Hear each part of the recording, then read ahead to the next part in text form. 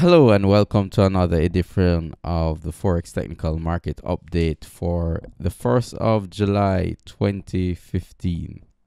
Already half of the year has gone so quickly. Uh, it, it seems just like yesterday we were ushering the new year in and now we're already halfway through the year. I hope I hope the first half of the year has been profitable for you and has been good and if it hasn't been good, then I hope it will turn around and you'll start to see profitability in your life and in the forex market.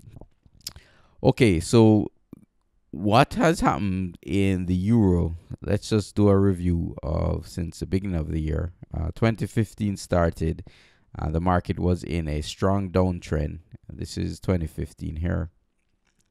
Market was at one just uh, let's call it 120 and it fell from 120 to 105 and in and it bottomed in March. And ever since March to March the euro has just been consolidating.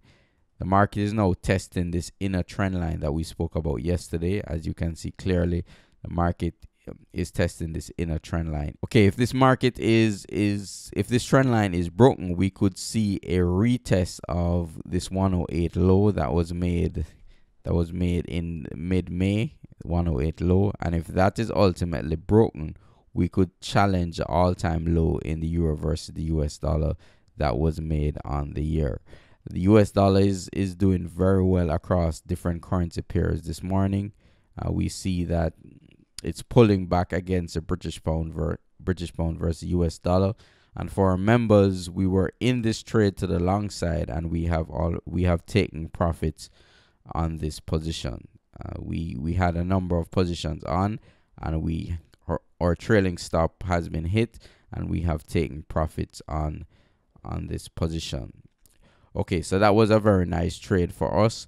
Now where where is the US dollar likely to go? Let me let me see that we have the bottom here in the British pound and this head and shoulders bottom could still be in effect. But our long-term supports are could be Fibonacci retracement level at 152.49 and also we could see the market drop to the 150 level. So that is where if the US dollar strength continues, we could see the British pound drop another 4 to 500 pips uh, versus the US dollar. And we could see the euro, as I said earlier, drop from 110 to 1 to 105. We could definitely see a move like that in the euro uh, versus the US dollar. Uh, taking a look at at, at the, the this euro USD position uh, we could see a pretty strong break to the downside um, if this trend line is is is broken because of this this consolidation has lasted a number of months now. And traders will be watching to see if the market is able to break down uh, below that level. So that's something definitely to look out for in this currency pair taking a look at the australian dollar we're still playing with this uh, trend line and the market Australian dollar is down on the day, but we're, we have still not challenged again or tested again the 76, 75, 50 level.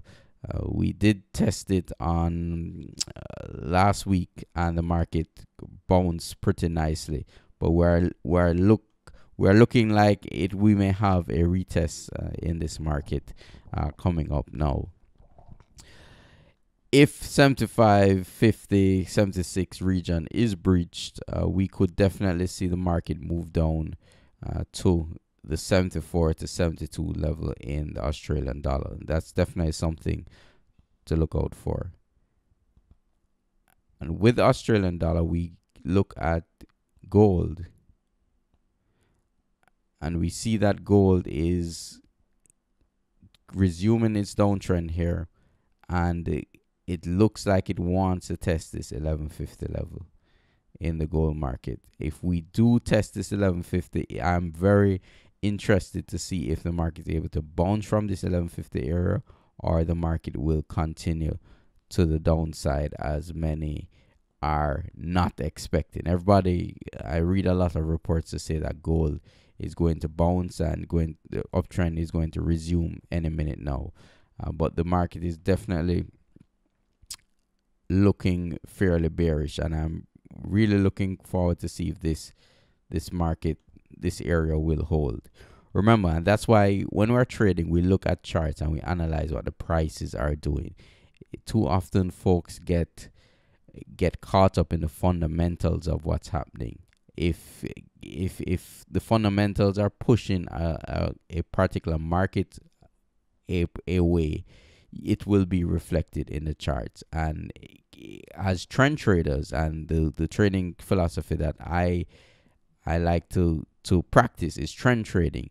As trend traders, you just follow the trend. So if the market is in a downtrend, for those of you who took the one indicator course, if a market is in a downtrend, you should be looking for selling opportunities in that market. If the market is in an uptrend, you should be looking for buying opportunities. Seems pretty simple, but you'll be surprised the number of traders that when the market is in a downtrend, they are trying to pick the bottom of the market. I have coaching clients that I that that I speak about uh, following the trend and it takes a while for some of them to to to really get it that okay just really follow the trend in practice.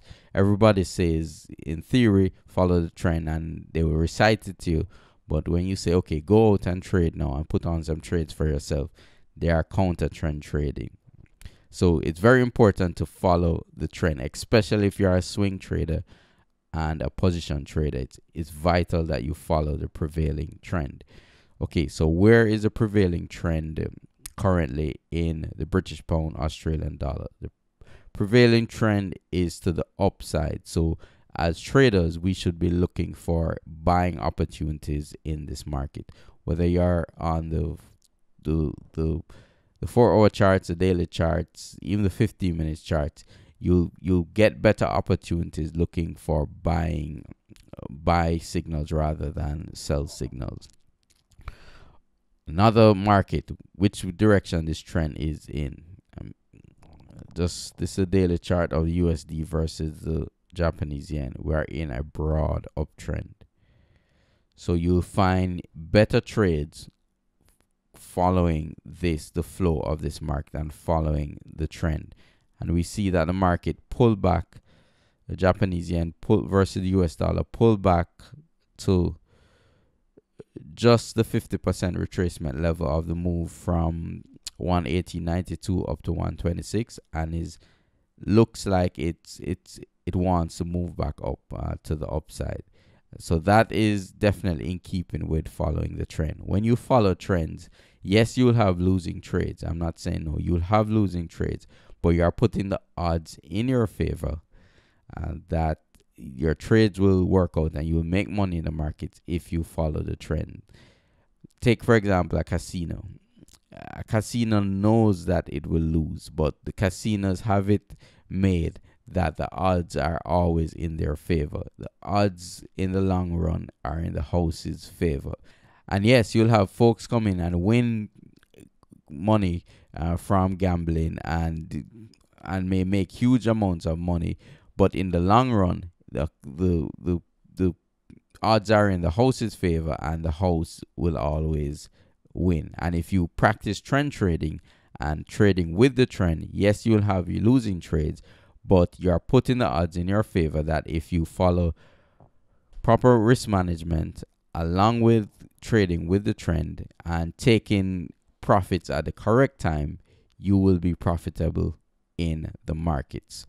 Okay, taking a look finally at the British pound versus the Japanese yen. This is a market that's also in an uptrend, and we are still long this market. We have been long this market from about the 180 182 region, and and the market is still in an uptrend. We have over a thousand pips to the positive side in this in this market alone, and if the market comes down a bit more, it will hit our trailing stop and will exit at a pretty good profit in this market. Okay, so the 1st of July 2015, if you want to start seeing profits and start putting the odds in your favor with your forex trading, I urge you to click on the link below to start the signals because six months from now you could say okay i'm seeing some positive growth in my forex trading and my forex trading account.